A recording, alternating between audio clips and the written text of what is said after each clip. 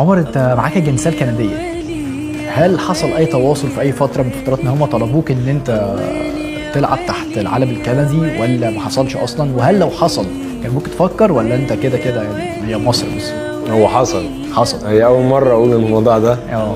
تو- تواصلت مع المدرب بتاع كندا كذا مرة. قبل ما أجي منتخب مصر بس قبلها بفترة لما كنت بلعب في البوندسليجا بس ما كانش ما كنتش لسه بأدي بشكل كويس ولا ما كنتش بشارك ب- بصفة كبيرة. تواصلت معاه كذا مرة واتكلمنا كذا مرة إن هو عندهم مشروع عايزين يوصلوا كأس العالم وعايزين ابقى حتة من المشروع ده.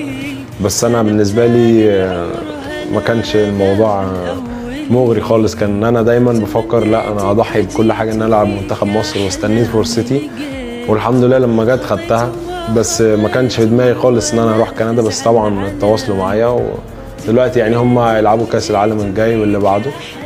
بس لسه أنا بالنسبة لي إن أنا ألعب لبلدي حاجة أكبر بكتير غير إن أنا ألعب لمنتخب كندا.